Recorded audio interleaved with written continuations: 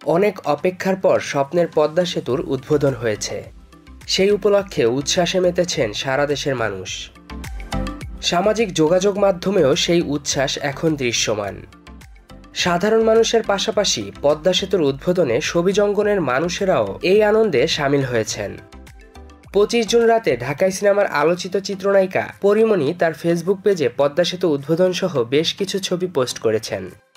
ক্যাপশনে তিনি লিখেছেন, ধন্যবাদ মাননীয় প্রধানমন্ত্রী শেখ হাসিনা। ভালোবাসা।